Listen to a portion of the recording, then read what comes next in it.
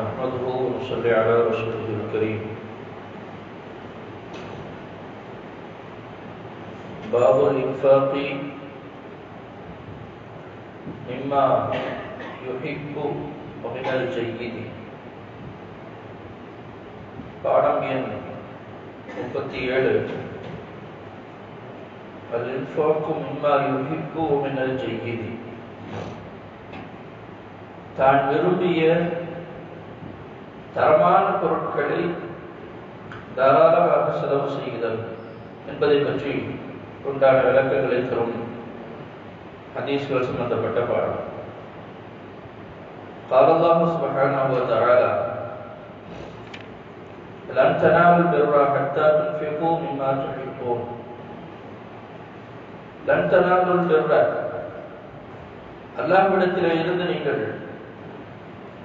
நன்மையை பெற்றுக்கொண்டவர்களாக செய்தவர்களாக ஆகிவிட முடியாது ஹத்தா துன்ஃபிகு மிம்மா துஹிப்பூன் நீங்கள் விரும்பும் பொருட்களை தாராளமாக செலவு செய்யும் காலம் வரை உங்களுக்கு நன்மைகள் கிடைக்காது என்று அல்லாஹ் சொல்கின்றான் வேறொரு வசனத்தில் يا أيها الذين آمنوا أنفقوا من طيبات ما كسبتم நீங்கள் சம்பாதித்த பொருளாதாரங்களிலே இருந்து உங்களுடைய மனதுக்கு பிடித்தமான நல்ல பொருட்களை தாராளமாக செலவு செய்து கொள்ளுங்கள் மிம்மா அஹ்ரஜனா லக்கும் மினல் பூமியில இருந்து உங்களுக்கு நாம் இதையெல்லாம் வெளியாக்கி தந்திருக்கின்றோமோ அவைகளிலே இருந்தும் நல்ல பொருட்களை செலவு செய்து கொள்ளுங்கள். உயர்ந்த பொருட்களை செலவு செய்து கொள்ளுங்கள். தரமான பொருட்களை செலவு செய்யுங்கள் என்று அல்லாஹ் செய்கின்றார் சில வசனங்களில் நம் அவர்களுக்கு கட்டளை எழுதுகின்றார் எதிர்த்து ரசூலுல்லாஹி ஸல்லல்லாஹு அலைஹி வஸல்லம் என்பவர்களுக்கு குறிப்பாக முதலாவது ஓதிய தாயத்து இறங்கிய சந்தர்ப்பத்தில் என்ற அந்த வசனம் இறங்கிய சந்தர்ப்பத்தில் ஹஜரத் அபூ தல்ஹா அவர்கள் பெருமானாரிடத்திலே வந்தார்கள். அபூதுல்ஹா மதினாவிலேயே மிகப்பெரிய சொத்திற்கு சொந்தக்காரர். நிறைய பேரிச்சம்பழ தோட்டத்திற்கு சொந்தக்காரர். நிறைய பேரிச்சம்பழ தோட்டத்தில் அவருக்கு ரொம்ப பிடித்தமான ஒரு இடம். ரொம்ப நாலஞ்சு வீடு வச்சிருந்தோம் அப்படின்னா நம்மள்கிட்ட ஒரு பெரிய பெரிய சொத்துகள் என்ன செய்யறது இருக்குது அப்படின்னா குறிப்பிட்ட ஒரு இடத்தில் வாங்கி போட்ட ஒரு சொத்து மனசுக்கு ரொம்ப என்ன செய்யும்? ராகத்தா இருக்குமா இல்லையா? கண்ணுக்கு ரொம்ப குளிர்ச்சியாக இருக்குமா இல்லையா? இது மாதிரி அவரிடத்துல இருந்த பேரிச்சம்பரமான சொத்துகளிலேயே பைரஹா என்ற ஒரு தோட்டம் இருந்தது. ஹசரத் அபுதல் ஹரதில்லா அவர்கள் பைரஹா என்ற ஒரு தோட்டம் ரசூலுல்லாஹி ஸல்லல்லாஹு அலைஹி வஸல்லம் அவர்களும் சமயங்களிலே இளைப்பாறுவதற்காக வேண்டி ஓய்வெடுப்பதற்காக வேண்டி அந்த தோட்டத்திற்கு செல்வார்கள்.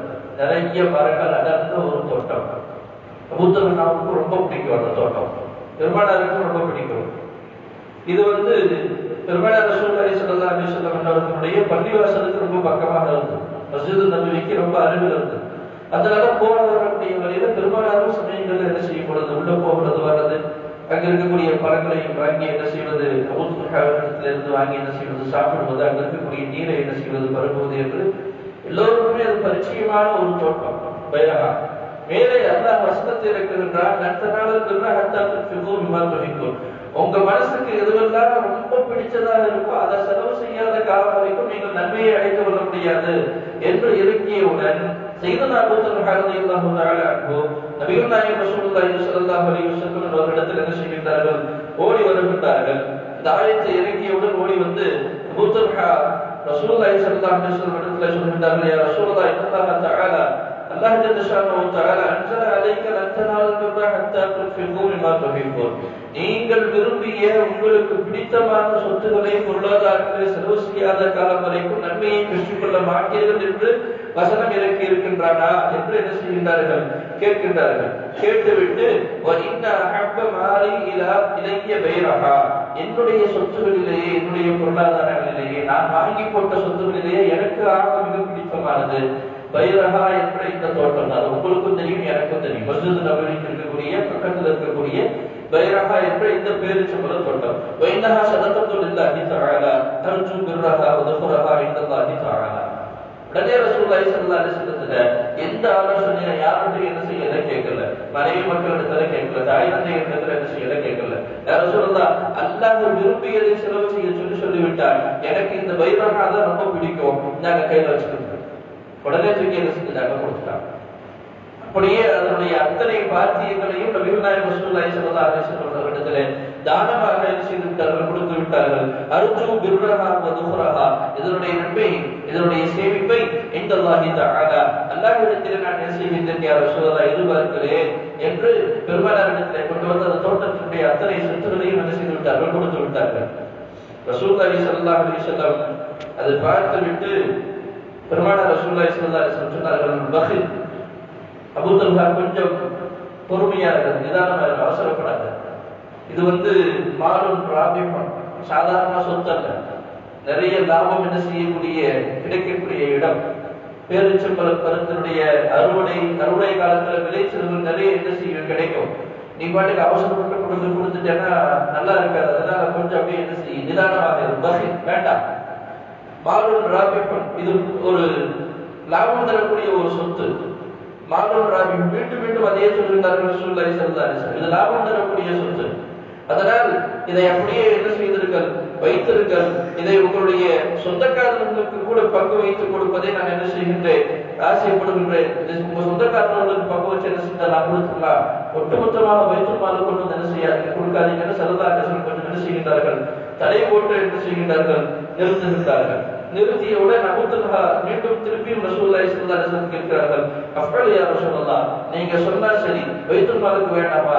இதை அப்படியே என்னுடைய சொந்தக்காரர்களுக்கு என்ன செய்ய வேண்டும் என்று சொல்கின்றீர்களா? பங்கு வைத்து கொடுக்க வேண்டும் என்று சொல்கின்றீர்களா? அதை நான் உடனடியாக என்ன செய்கிறேன் செய்கிறேன் என்று அதற்கும் அபுத்துல்ஹா என்ன செய்கின்றார் கட்டுப்படுகின்றார். கட்டுப்பட்டு அபுத்துல்ஹா ரலியல்லாஹு தஆலா அன்ஹு அதை தன்னுடைய சொந்தக்காரர்களுக்கும் தன்னுடைய அஹ், தந்தையுடைய உடன்பிறந்த சகோதரர் தந்தையுடைய உடன்பிறந்த சகோதரர் சச்சா மக்களுக்கும் அந்த தோட்டத்தை என்ன செய்கின்றார்கள்? பங்கு வைத்து அந்த சொத்தை என்ன செய்கின்றார்கள்? உடனடியாக எல்லாருடைய பாதையில் செலவு செய்கின்றார்கள். தனக்கு பிடித்தமான ஒரு சொத்து.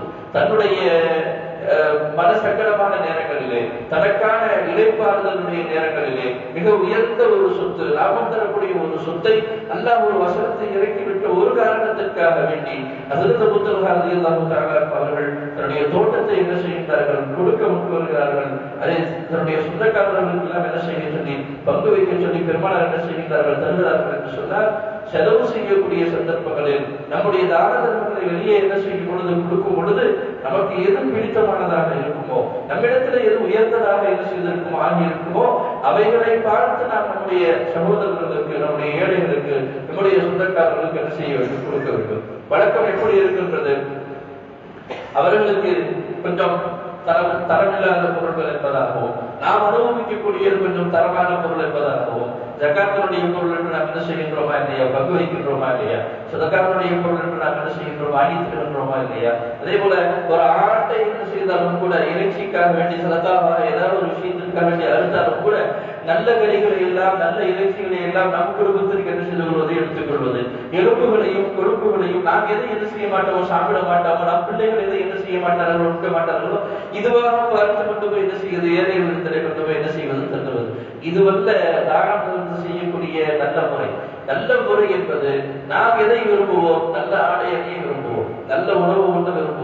நல்ல விதத்தில் வாழ்வதற்கு செய்யோ விரும்புவோம். நல்ல சொத்துக்களை அனுபவிப்பதற்கு செய்யோ விரும்புவோம். அதே தன்மையை நம்மிடத்தில் இருக்கக்கூடிய எதிர்த்தரத்தில் இருக்கக்கூடிய உறவினர்களும் சொந்தக்காரர்களும் ஏழைகளும் என்ன செய்ய வேண்டும்? அதையே உண்ண வேண்டும் அதையே அனுபவிக்க வேண்டும் என்ற ஒரு உயர்ந்த சிந்தனை உயர்ந்த மனப்பான்மை செலவு செய்யும் பொழுது தான தர்மங்கள் கொடுக்கும் பொழுது மனதில் என்ன செய்ய வேண்டும் ஏற்பட வேண்டும். இது போன்ற சிந்தனைகளுக்காக உருவாகுவது என்பது நாம் ஏற்கனவே சொன்னதை போன்று சாதாரணமான விஷயம் அல்ல.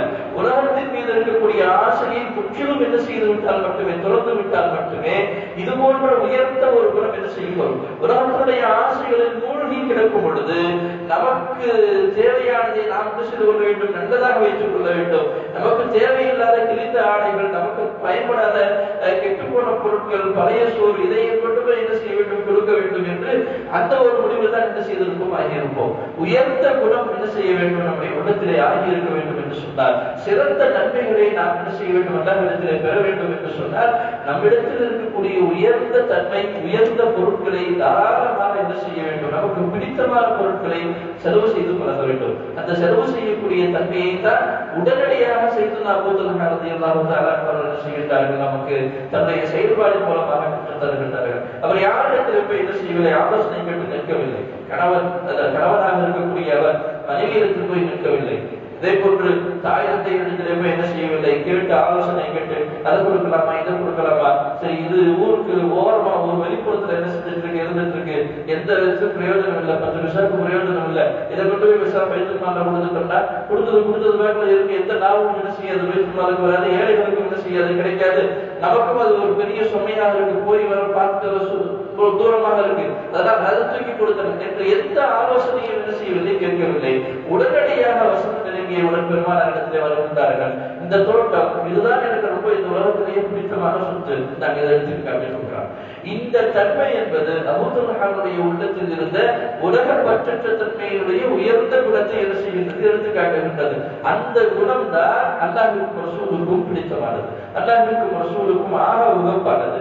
நன்மைகளை அதிகமாக வாங்கி தரக்கூடிய குணம் அந்த குணம் தான் அந்த குணத்தை நாம் கையில் என்ன செய்ய வேண்டும்? எடுக்க வேண்டும். தாராளமாக குடும்பங்களுக்காக வேண்டி உறவுகளுக்காக வேண்டி ஏழைகளுக்காக வேண்டி செலவு செய்வதற்கு குறித்தான காலகட்டங்கள் நம்மை நோக்கி எது செய்யும் பொழுது வரும் பொழுது நம்முடைய பொருளாதாரங்களை நமக்கு எது பிடித்தமானதாக இருக்கின்றதோ நம்மிடத்தில் எது உயர்ந்த பொருளாக இருக்கின்றதோ அதை தூக்கி அப்படியே என்ன செய்ய வேண்டும்? அல்லாஹிற்காக வேண்டி கொடுத்து பழக வேண்டும். அப்படி கொடுத்து பழகுவதுதான் மிக சிறந்த ஒரு குணம் என்பதை இந்த ஹதீஸின் வாயிலாக இந்த பாடத்தின் மூலமாக ஆசிரியர் அவர்கள் நமக்கு என்ன செய்கின்றார்கள் கற்றுத் தருகின்றார்கள். எல்லாம் வல்ல அல்லாஹ் ஜல்ல உலகத்தின் மீது ஆசையை சுருக்கியவர்களாக மறுமையின் மீது இருக்கக்கூடிய ஆசைகளையும் நன்மைகளையும் அதிகப்படுத்தியவர்களாக அல்லாஹிற்கும் ரசூலுக்கும் பொருத்தமான முறையிலே சம்பாதிப்பவர்களாகவும் அல்லாஹும் ரசூலும் பொருத்தப்பட்ட முறையிலே நம்முடைய பொருளாதாரங்களை செலவு செய்யக்கூடிய நபர்களாகவும் உங்களையும் என்னையும் உலகம் செய்யக்கூடிய நபர்களாக கபோல் செய்வாராக ஆமீன். வாக்குதாவானா அல்ஹம்துலில்லாஹி ரபுல் ஆலமீன்.